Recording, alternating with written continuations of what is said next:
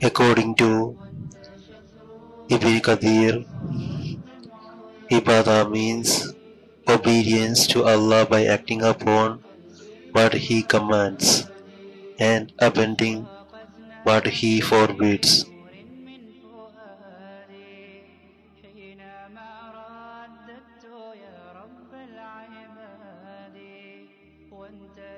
روحي